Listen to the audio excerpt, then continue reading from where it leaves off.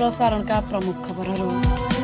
सुदूरपश्चिममा नयाँ वर्षका दिन मनाइने विश्व पर्व उल्लासका साथ मनाइयो वर्ष दुई हजार उनासीमा राजनीतिक र सामाजिक क्षेत्रमा सुधार आउने अपेक्षा। गर्मीसँगै सुदूरपश्चिम प्रदेशमा अघोषित लोडसेडिङ पनि बढ्न थाल्यो। प्राधिकरणको प्रवृत्तिमा सुधार नआउँदा कैलाली र कञ्चनपुरका बासिन्दा सबैभन्दा बढी मारमा। ड्याम र पहुँच मार्गमा उल्झन देखिएपछि महाकाली नदीमा चार लेनको पुल निर्माणमा ढिलाइ। कार्तिक पहिलो साता आएको बाढीपछि निर्माण कार्यले गति लिन सकेन। र सुदूरपश्चिम प्रदेशका बजारमा भारतबाट आयातित तरकारीको मूल्य आकाशियो। एक किलो कागतीको भाउ मात्रै पाँच सय पुग्यो। बिस रुपियाँमा एक दाना बिक्री हुँदै।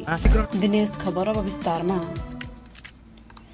बिहिबारबाट नयाँ वर्ष दुई हजार उनासी सुरु भएको छ। नयाँ वर्षको पहिलो दिन हिजो सुदूरपश्चिमवासीले पनि एक आपसमा शुभकामना आदान प्रदान गरी मनाएका छन्। हिजो हरेक व्यक्तिले गत वर्ष गरेका कामको सफलता असफलता मूल्याङ्कन गरी नयाँ योजनाको संकल्प गर्दछन्। नयाँ वर्ष दुई हजार उनासी राजनीतिक आर्थिक र सामाजिक क्षेत्रमा सुधार ल्याओस् भन्ने सर्वसाधारणले कामना गरेका छन्। दुई हजार अठहत्तरमा कोविड संक्रमण राजनीतिक अस्थिरता तथा आर्थिक मन्दीले सबै क्षेत्रमा समस्या आएकोले नयाँ नयाँ वर्षमा सबै समस्या समाधान होस् भन्ने सर्वसाधारणले चाहना राखेका हुन्। सहकर्मी नारायण अवस्थीको रिपोर्ट। बिहिबारदेखि दुई हजार अठहत्तर साल विदा भएको छ। नयाँ वर्ष दुई हजार उनासीको शुभकामना आदान प्रदान गर्ने क्रम चलेको छ। नयाँ वर्ष दुई हजार उनासीले समाजका सबै क्षेत्रमा सहज वातावरण निर्माण होस् भन्ने कामना सर्वसाधारणले गरेका छन्। दुई हजार अठहत्तरमा कोविड महामारी राजनीतिक अस्थिरता र आर्थिक मन्दीको कारण समस्या भोग्नु परेको भए पनि नयाँ वर्ष आर्थिक विकास सामाजिक एकता र राजनीतिक स्थिरताको वर्ष हुन सकोस् भन्छन् धनगढीका स्थानीय यमनाथ सिगदेल। वैशाख तिस गते एउटा राष्ट्रिय पर्वको रूपमा स्थानीय चुनाव छ। त्यो चुनाव सफलतापूर्वक सम्पन्न होस् कुनै विवाद रहित होस् त्यसले तपाईँको स्थानीय निकायमा विकासको एउटा लहर ल्याओस्। अघिल्लो निर्वाचनले स्थानीय निकायलाई अत्याधिक बदनाम गर्यो। भ्रष्टाचारको मूल नै स्थानीय निकाय भयो भन्ने जुन एउटा आरोप लागेको छ जुन देख्यौँ पनि हामीले त्यस्तो नहोस्। नयाँ वर्ष दुई हजार उनासीले सबैलाई हातेमालो गर्दै अगाडि बढ्ने शक्ति देओस् भन्ने कामना अर्का स्थानीय श्यामकृष्ण खतिवडाको छ। नसक्नेलाई सक्नेले केही दिएर र राज्यबाट पनि के गर्न सकिन्छ राज्यले गर्न नसकेको ठाउँमा हामी जस्ता केही हुने खाना पुग्नेले निमुखाहरूलाई केही जगेर्ना गर्दै जाउँ। सबैको त्यसमा चाहिँ हातेमालो होस् भन्ने चाहन्छु। वर्ष दुई हजार उनासीलाई चुनावी वर्षको रूपमा पनि हेरिएको छ। त्यसैले यस वर्ष हुने निर्वाचनमा स्वच्छ छविका जनप्रतिनिधि निर्वाचित हुन् भन्ने अपेक्षा सर्वसाधारणमा देखिएको छ। धनगढीका व्यवसायी उमेश गुप्ता। दुई हजार उनासी सालले देशलाई नयाँ मोडमा लैजाओस् भन्ने चाहन्छु र आगामी हुन गइरहेको निर्वाचनमा पनि स्वच्छ छवि भएका र भ्रष्टाचार रहित व्यक्तित्वहरूले नेतृत्व गर्न पाउन् र मुलुकको मुहार फेरियोस्। दुई हजार अठहत्तरमा कोभिड प्रकोपका कारण व्यापार व्यवसाय चौपट भएको छ तर नयाँ वर्षमा सबै कुरा सहज हुने विश्वास गर्छन् धनगढीका विनोद कुमार जिसी। कोभिड उन्नाइसदेखि लिएर विभिन्न राजनीतिक अस्थिरताले गर्दा व्यापार व्यवसायहरू निकै धसाई स्थितिमा रह्यो। चुनौतीको बिचमा व्यापार व्यवसायहरू लागिरहेका छन्। सबैको मनमा मुहारमा खुसियाली होस् सबैको व्यापार बिजनेस बढोस् र सबैलाई आत्मनिर्भर हुने वातावरण बनोस्। वर्ष दुई हजार अठहत्तर सुदूरपश्चिमका लागि सुखद हुन सकेन। श्रृङ्खलाबद्ध हिंसा र महिला तथा बालबालिकामाथि दुर्व्यवहारका घटना पनि वर्ष दुई हजार अठहत्तरमा निरन्तर भइरहे। तर वर्ष दुई हजार उनासीमा त्यस्तो नहोस् भन्ने कामना गर्छिन् धनगढीकी कोपिला कुवर। योभन्दा अगाडिको सालहरूमा जे जस्तो हिंसा हामीले सुन्दै आयौँ भोग्दै आयौँ त्यो हिंसालाई चाहिँ अन्त्य अन्त्य होस् यो वर्षदेखि। अब आउने वर्षमा चाहिँ कुनै किसिमका महिला हिंसा अथवा सबै किसिमका हिंसा चाहिँ नहोस् भन्ने चाहिँ अपेक्षा गर्दछु। दुई हजार उनासी वैशाख एक फर्केर फेरि आउँदैन। तसर्थ पुराना खराब आनी बानी त्यागेर नयाँ असल बानी बेहोरा अँगाल्ने सङ्कल्प गरौँ। इतिहासको निर्मम समीक्षा गरी भविष्यको सुन्दर योजना बनाएर कार्यान्वयनमा लागौं। नयाँ वर्षको सबैमा शुभकामना। दिनेश खबरका लागि नारायण अवस्थी धनगढी। सुदूरपश्चिम प्रदेशमा हिजो विश्व पर्व मनाइएको छ। नयाँ वर्षको पहिलो दिनलाई हिजो सुदूरपश्चिमेलीले विश्व पर्वका रूपमा मनाउने गरेका छन्। सुदूरपश्चिमका पहाडी जिल्ला डडेलधुरा बैतडी दार्चुला बझाङ डोटी अछाम र बाजुरामा आफ्नै मौलिकता अनुसार विश्व पर्व मनाइने गरिएको छ। प्रदेशमा एक वर्षभरि विदेशिएका सबै परिवारका सदस्य र दिदीबहिनी समेत माइती घर आउने र यस सबै एकै ठाउँमा जमघट भई मिठा मिठा खानेकुरा तथा स्थानीय खानाका परिकार पकाई खुसी साटासाट गरी विश्व मनाउने चलन रहेको छ सहकर्मी बिन्दु चन्दको रिपोर्ट। नयाँ वर्ष दुई हजार उना अस्सी सुरु भएको खुसियालीमा सुदूरपश्चिम प्रदेशमा विशु पर्व मनाइएको हो। प्रदेशमा सिस्नो लगाएर विशु पर्व मनाउने गरिएको छ। देउर र भाउजू तथा साली र भिनाजु एक आपसमै सिस्नो लगाएर पनि नयाँ वर्ष तथा विशु पर्व मनाउने गरेका छन्। डोटेकी देवादेवी ओली। सुदूरका तराई जिल्लामा समेत अधिकांश पहाड़बाट बसाइसराई गरेकाहरूको बसोबास छ। उनीहरूले पनि आफ्नै मौलिकता अनुसार विशु पर्व मनाएका छन्। तर पहाड़ जस्तो तराईमा भने रमाइलो नरहेको बताउँछन् धनगढी बस्दै आएका अछामका जयसिंह महरा र योगराज जोशी। राम्रो छ आज खुसी छौँ। अब खासै पहाड जस्तो हुँदैन पहाडमा रमाइलो। पहाडमा त अब सिक्नु लगाउने खेल्ने देउल भाउजूको त झन् राम्रो हुन्छ। ए मेला लाग्या हुन्छ पहाडमा त। सिस्नु चिलाउने होइन। लौडा भन्ने यस्तो खेल्छन् क्या लोग्ने मान्छे के के देउडा गरेर। त्यही अनि खानपिन गर्ने। विशु पर्व सुदूरपश्चिमेलीहरूको मौलिक चाड हो तर पछिल्लो समय युवा पुस्ताहरूले पुरानो परम्परा अर्थात् संस्कृति बिर्सिँदै प्रति चिन्ता समेत गरिएको छ। पहिलेको जस्तो रौनकता अहिले नरहेको बताइएको छ। धनगढी बसोबास गर्दै आएका बैतडीका गणेश भट्ट। पहिलेको जो के के संस्कारहरू त अहिले लोप भइसक्यो। खोजी खोजी सिस्नो लगाउने काम हुन्थ्यो तर अहिले छैन न त्यो सिस्नो र न त चाहिँ संस्कारी र त्यति मनाइँदैन पहिले धेरै रमाइलो हुन्थ्यो पुरै दिनको थाहै हुँदैन थियो तर अहिले त्यस्तो छैन खासै। खानेपिने काम मात्रै हुन्छ यस्तै रह्यो भनेपछि यो संस्कार सकिन्छ। आउँदो पिँढीहरूमा त्यो खासै इन्ट्रेस्ट त्यति छैन। पुरानो संस्कारहरू सकिँदै दिनेश खबरका लागि बिन्दुचन्द धनगढी। कञ्चनपुरको महाकाली नदीमा चार लेनको पुल निर्माणमा ढिलाइ भएको छ। सुदूरपश्चिमकै ठूलो आयोजनाभित्र पर्ने चार लेनको आठ सय मिटर लम्बाइको पक्की पुलसँगै बन्ने ड्याम पहुँचमार्ग लगायतमा प्रक्रियागत उल्झन देखिएपछि ढिलाइ भएको हो। गत कार्तिक पहिलो साता महाकाली नदीमा आएको बाढीपछि पुलको काम प्रभावित बन्न पुगेको थियो। त्यस यता पुलको काम छिटफुट रूपमा भए पनि बाँध निर्माण लगायतका काम भने सुरु हुन सकेको छैन। पुलको चौतर्फी बन्ने पोखरीका लागि गाइडबन्ड बनाउन डिजाइन स्वीकृत भए पनि भेरिएसन अर्डर नहुँदा काम अगाडि बढ्न नसकेको पुल निर्माण कम्पनीको भनाइ छ। यसअघि ठूला ढुङ्गाको गाइडबन्ड बनाउने सम्झौतामा रहे पनि ठूलो ढुङ्गाको व्यवस्थापन हुन नसकेपछि डिजाइन परिवर्तनको पहल भएको हो। गाइडबन्ड बनाउन करिब एक लाख एकासी हजार घनमिटर ढुङ्गा आवश्यक थियो। पुल निर्माणको जिम्मा पाएको कुमार श्रेष्ठ निर्माण कम्पनी तथा चाइना फ्युल कन्स्ट्रक्सन जेबीका इन्जिनियर किशोर राज पाण्डेले गाइडबन्डको डिजाइन परिवर्तन भए पनि भेरिएसन अर्डर नहुँदा आर्थिक विषय नटुङ्गिएको बताए। गत जेठ र कार्तिकमा महाकाली नेपालीमा आएको बाढीले निर्माण कम्पनीको करिब बिस करोडभन्दा बढीको क्षति पुर्याएको थियो। त्यसै गरी पुलसँगै सात दशमलव आठ किलोमिटर छ लेनको पहुँच मार्ग अन्तर्गत चार किलोमिटरभन्दा बढी सडक कालोपत्रे भइसकेको छ। तीन अर्ब छ्यासठी करोडको लागतमा निर्माण हुन लागेको पुल आयोजनाको छ्यात्तर प्रतिशत वित्तीय प्रगति भइसकेको छ। पुल बने सुदूरपश्चिमको आर्थिक समृद्धिमा फड्को मार्ने आशा गरिएको उक्त आयोजनाको निर्माण द्रुतगतिमा गर्न महाकाली तटीय क्षेत्रका स्थानीयवासीले पनि दबाव दिँदै आएका छन्। योजनामा पुलको दुवैतर्फ पाँच हजार चार सय मिटर बाँध निर्माण गर्नुपर्ने व्यवस्था छ। दुई हजार चौहत्तर भदौबाट पुल निर्माण सुरु भएकामा कोरोना महामारीका कारण दुई पटकसम्म प्रभावित बनेको थियो।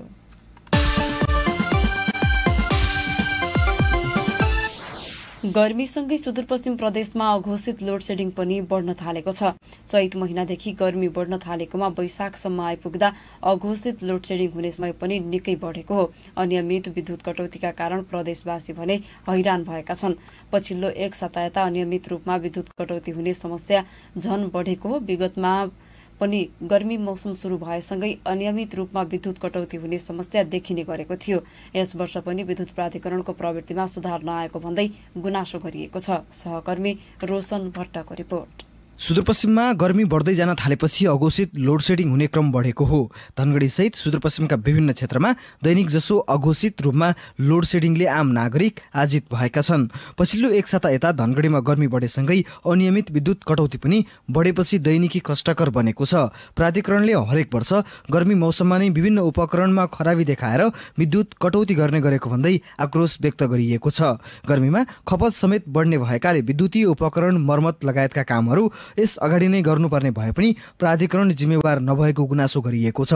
धनगढीका स्थानीय देवराज अवस्थी। धनगढीवासीलाई चाहिँ अहिले यो गर्मीको कारणले विद्युतले चाहिँ एकदमै समस्या एकदमै गर्मी पनि बढिरहेको यसैमा पनि विद्युतीय अनियमितता एकदमै यो बत्ती गइराख्ने भएर धनगढीवासीहरूलाई हरेक कार्यमा चाहिँ समस्या भइरहेको अवस्था छ। अहिले विद्यार्थीहरूलाई शिक्षामा समस्यादेखि लिएर हरेक कुरामा स्वास्थ्यमा समस्या हरेक कुरामा समस्या आइरहेको छ। यो समस्या चाहिँ छिटोभन्दा छिटो समाधान हुनुपर्छ भन्ने चाहिँ धनगढीवासीहरूको आह्वान पनि हो। विद्युत कटौती भए वैकल्पिक उपकरण उपकरणको समेत बिक्री हुने हुँदा व्यापारीसँगको मिलिमतोमा अघोषित लोड सेडिङ गर्ने गरेको आरोप प्रदेशवासीको छ। सामान्य विद्युतको तार चुडिएको भए पनि विद्युत प्राधिकरणले मर्मतमा लापरवाही गर्दा समस्या खेप्नु परेको छ। सहरी क्षेत्रमा विद्युतीय उपकरणको बढ्दो प्रयोग भएका बेला हुने अघोषित लोड सेडिङले जनजीवन असहज बनाइदिएको छ। बिजुली आउने जाने गर्दा विद्युतीय उपकरणमा समेत क्षति पुग्ने गरेको छ। अत्तरियाका स्थानीय गणेश जोशी। विद्युतीय लाइन विस्तार भइरहेको भने पूर्व जानकारी पूर्व तालिका निकालेर त्यसरी यसरी यो यता भइरहेको छ भनेर तालिका निकालेर विद्युत कटौती गरेको भए केही हुने थिएन। त्यसरी अघोषित रूपमा विद्युत कटौती गर्दाखेरि चाहिँ कतै कर्मचारीहरूको कतै विद्युतीय उपकरण अथवा बिक्री गर्नका लागि साटगार त छैन भन्ने कुरामा जनता अलि सशङ्कित बनेका छन्। प्राधिकरणले विभिन्न वाहना बनाएर विद्युत कटौती गर्दा गृहणी विद्यार्थी उद्योगी व्यापारीहरूले समस्या झेल्नु परेको छ भने विद्युत नभएपछि पङ्खा एसी कुलर लगायतका उपकरण चलाउन नपाउँदा चर्को गर्मी कटाउन मुस्किल परिरहेको छ। उपकरण मर्मतमा पनि प्राधिकरणले ढिलासुस्ती गर्ने गरेको छ जसका कारण समस्या प्रदेशवासीलाई भइरहेको छ।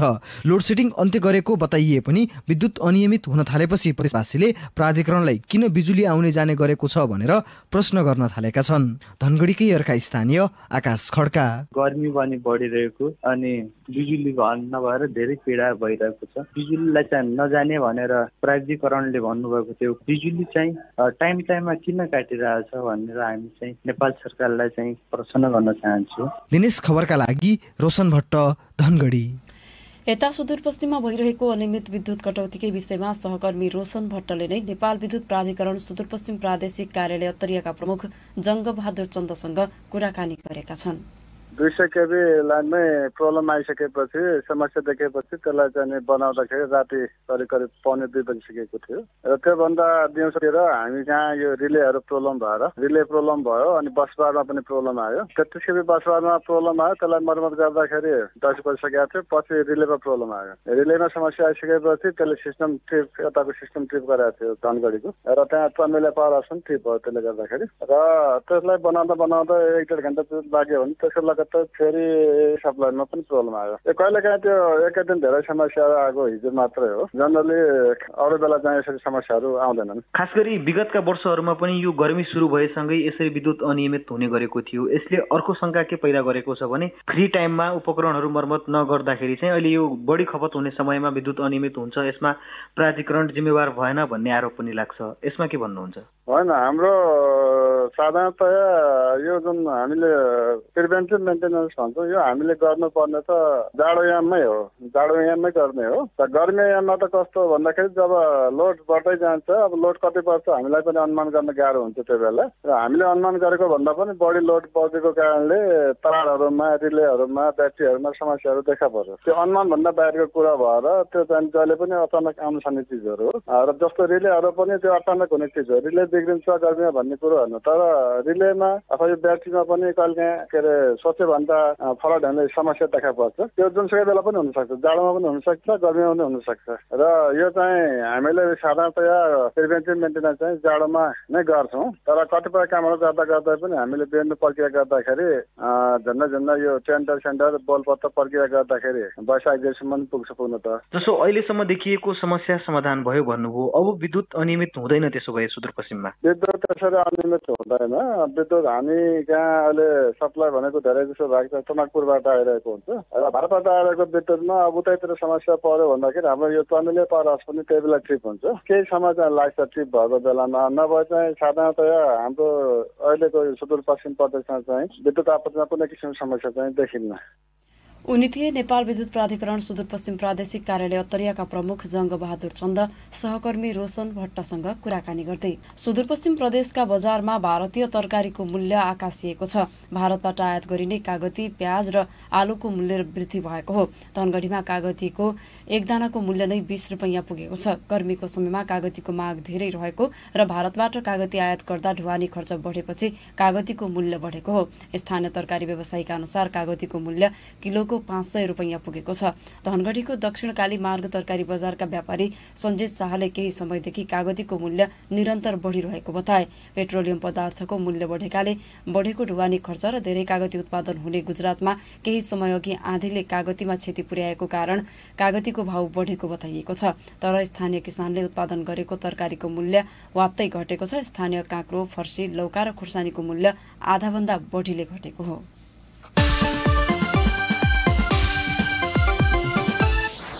अब स्थानीय तह निर्वाचन सम्बन्धी खबर बाजुराका अडतिस मतदान केन्द्र अति संवेदनशीलको सूचीमा परेका छन्। जिल्लाका नौवटा स्थानीय तहमा रहेका सत्तरीवटा मतदान केन्द्र मध्ये अडतिस मतदान केन्द्र अति संवेदनशीलको सूचीमा परेका हुन्। मतदान केन्द्रलाई अति संवेदनशील संवेदनशील र सामान्य गरी तीन भागमा वर्गीकरण गरिएको छ। सत्तरी मतदान केन्द्र मध्ये अडतिस मतदान केन्द्र अति संवेदनशील पच्चिस संवेदनशील र सातवटा मतदान केन्द्र सामान्य रहेका छन्। वैशाख तीस गते हुने स्थानीय तहको निर्वाचनका लागि जिल्लामा सत्तरीवटा मतदान केन्द्र कायम गरिएका छन् भने तेह्रवटा राजनैतिक दलले दल दर्ता गराएको निर्वाचन कार्यालय बाजुराले जनाएको छ।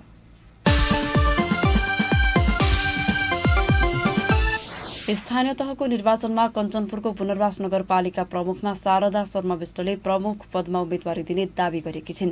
नेकपा एमालेको जिल्ला कमिटी सचिवालय सदस्य तथा अहिलेकी उपमेयर विष्टले आफू प्रमुख पदका लागि योग्य उम्मेद्वार रहेको दावी गरेकी हुन्।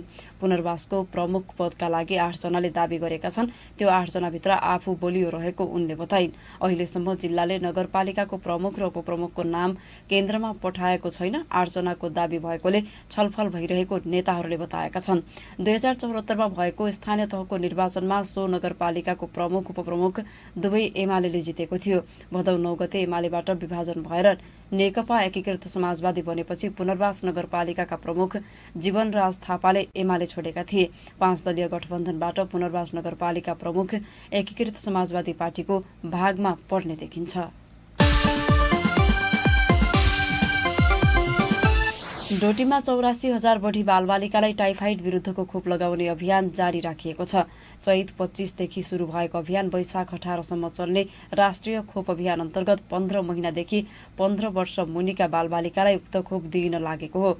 जिल्ला स्वास्थ्य कार्यालय डोटीका प्रमुख दिल्ली रमण जोशीका अनुसार विद्यालयमा अध्ययनरत बालबालिकालाई पहिलो चरणमा विद्यालयमै पुगेर उक्त खोप दिइन लागेको छ। जसका लागि विगतमा सञ्चालित खोप केन्द्रसँगै जिल्लाभरिका विद्यालयलाई खोप केन्द्र बनाइएको छ। टाइफाइड संक्रमणको जोखिम पन्ध्र वर्ष मुनिका बालबालिकालाई बढी हुने र प्रभावित पनि बढी हुने भएकाले उक्त उमेर समूहलाई लक्षित गरी खोप अभियान सुरु गरिएको हो। कैलाली र कञ्चनपुरमा चल्ने सवारी साधनले पछिल्ला दिनमा मनोमानी ढङ्गले भाडा लिन थालेका छन्। पेट्रोलियम पदार्थको मूल्य वृद्धि भएको भन्दै सवारी धनीले मनोमानी ढङ्गले भाडा लिन थालेका हुन्। छोटो दूरीमा चल्ने कतिपय सवारी साधनले भाडा लिइसकेपछि यात्रुलाई टिकट उपलब्ध नगराउँदा सम्बन्धित निकायमा उजुरी समेत गर्न कठिनाई भइरहेको पीडित यात्रुको अनुभव छ। छोटो दूरीमा चल्ने बसका कतिपय यात्रुमा तोकिएको भाडा दिएर पनि टिकट माग्ने बानी नभएको र बसका सहजकर्तामा पनि यात्रुले मागेको टिकट नदिने प्रवृत्ति रहेको कारण पनि यात्रुले बेला बखत शास्ति खेप्नु परेको बताइन्छ। महाकाली यातायात व्यवसाय समितिका अध्यक्ष डम्बर पन्तले भने आफू खुसी भाडा लिएको बारे आफूलाई जानकारी नभएको दावी गर्दै सरकारले तोकेको भाडा दरभन्दा बढी भाडा यात्रुबाट लिन नपाइने बताए। पेट्रोलियम पदार्थको मूल्य वृद्धिसँगै सरकारले हालै सार्वजनिक सवारीका साधनको साविकको भाडा दरमा एघार प्रतिशतका दरले वृद्धि गरेको उनले बताए। र कञ्चनपुरमा प्राविधिक शिक्षा तथा व्यावसायिक तालिम परिषद सिटिभिटीको परीक्षा स्थगित भएको छ। कोर्स पूरा नगरी परीक्षा सञ्चालन गर्न खोजेको भन्दै विद्यार्थीले विरोध गरेपछि परीक्षा स्थगित भएको हो। कञ्चनपुरका शैक्षिक संस्थामा अध्ययनरत विद्यार्थीले छ महिनामा हुनुपर्ने परीक्षा चार महिनामै गरेको र कोर्स बिनै सञ्चालन गर्न खोजिएको भन्दै परीक्षा बहिष्कार गरेका थिए। प्रसारण कन्तमा प्रमुख खबरहरू पुनः एकपटक। सुदूरपश्चिममा नयाँ वर्षका दिन मनाइने विश्व पर्व उल्लासका साथ मनाइयो। वर्ष दुई हजार उनासीमा राजनीतिक र सामाजिक क्षेत्रमा सुधार आउने अपेक्षा। गर्मीसँगै सुदूरपश्चिम प्रदेशमा अघोषित लोड सेडिङ पनि बढ्न थाल्यो। प्राधिकरणको प्रवृत्तिमा सुधार नआउँदा कैलाली र कञ्चनपुरका बासिन्दा सबैभन्दा बढी मारमा। ड्याम र पहुँच मार्गमा उल्झन देखिएपछि महाकाली नदीमा चार लेनको पुल निर्माणमा ढिलाइ। कार्तिक पहिलो साता आएको बाढीपछि निर्माण कार्यले गति लिन सकेन। र सुदूरपश्चिम प्रदेशका बजारमा भारतबाट आयातित तरकारीको मूल्य आकाशियो। एक किलो कागतीको भाव मात्रै पाँच सय पुग्यो। बिस रुपियाँमा एक दाना बिक्री हुँदै। अवस्था। Dinesh FM ninety three point eight मेगाहरूसँगै लम्कीको लम्की एफएम दिनेश खबरको फेसबुक पेज मोबाइल र अनलाइनबाट समेत एकैसाथ प्रसारण भइरहेको बिहान साढे छ बजेको दिनेश खबर सकियो। साँझ साढे छ बजे अर्को दिनेश खबर लिएर आउने नै छौँ। तपाईँ भने दिनेश एफएम सुन्दै र दिनेश खबर डट कम पढ्दै गर्नुहोला। अहिलेको समाचार बुलेटिनबाट रक्षा भट्ट परिविदा हुन्छु। नमस्कार शुभ दिन।